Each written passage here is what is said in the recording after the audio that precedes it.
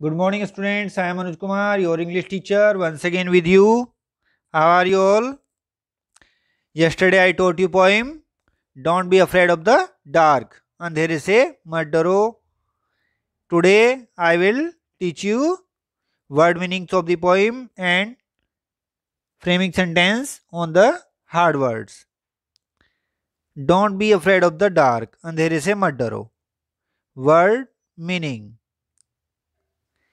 A F R A I D A F R A I D afraid afraid means डरना. Feeling fear feeling feel मतलब feel करना fear मतलब डर, यानी afraid afraid मतलब feeling fear डरना. D A R K dark dark means अंधेरा, अंधकार विद लिटिल और नो लाइट जहाँ पे लाइट नहीं होती है, वहाँ पे अंधेरा होता है no light yes next H A R S H harsh harsh means rough और क्रूअल। रफ और क्रूअल, भद्दा या खराब तरह का जिसका व्यवहार अच्छा ना हो, जो परेशान करता हो, टीज करता हो, वो हार्श। या जो जैसे किसी की वॉइस होती है ना, बहुत अजीब सी होती है, वो बोलते हैं तो उसे भी हार्श वॉइस बोलते हैं। Forever F O R E V E R forever means always, सदा या सदैव। Forever always troubles T R O U B L E S troubles means परेशानी, या परेशानियाँ। Difficulty D I double F I C U L T Y difficulty परेशानी।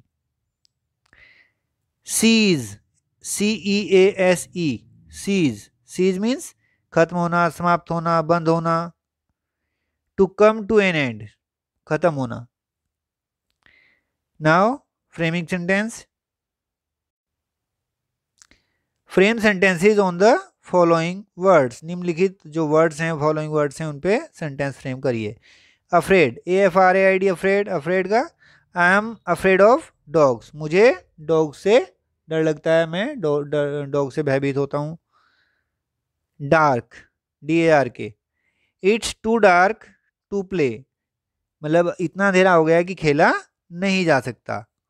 It's too dark to play rest R E S T rest rest means relax तो I want to take rest ना हो मैं अब थक गया हूँ तो मैं क्या चाहता हूँ? मैं आराम चाहता हूँ. I want to take rest ना हो मैं अब आराम करना चाहता हूँ। Harsh don't be very harsh बहुत हार्श मत बनो। Forever she will stay here forever वह यहाँ हमेशा रहेगी। फॉर एवर मीन्स सदा के लिए।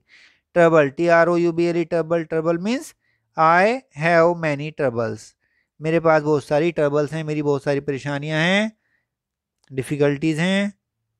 Cease it should be ceased यह बंद होना चाहिए। कोई चीज़ है तो अगर वो बंद होना चाहिए, जैसे टैक्सेशन है तो टैक्सेशन बंद होना चाहिए तो टैक्सेशन शुड बी सीज्ड तो इट शुड बी सीज्ड यह बंद होना चाहिए। Do this work in your marigold English copy and how to do you very first you will write one page writing then make picture then word meaning, then framing sentence.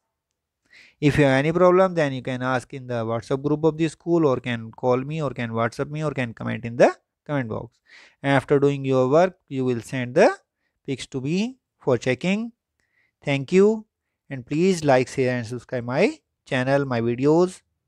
Thank you.